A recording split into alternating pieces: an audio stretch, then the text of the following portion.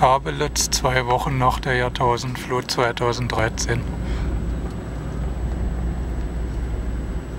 Was ist das Datum an von heute? Heute ist der 3. Juli 2013. Aber hier stand es teilweise gar nicht, ne?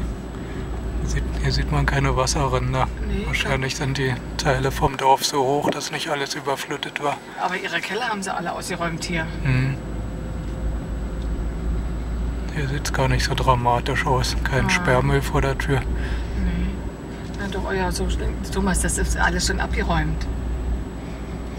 Das haben die alle schon, guck mal hier vorne vor uns sind sie gerade dabei, wieder abzuräumen. Hm. Das haben die vor anderthalb Wochen schon gemacht. Jetzt müssen wir erstmal warten.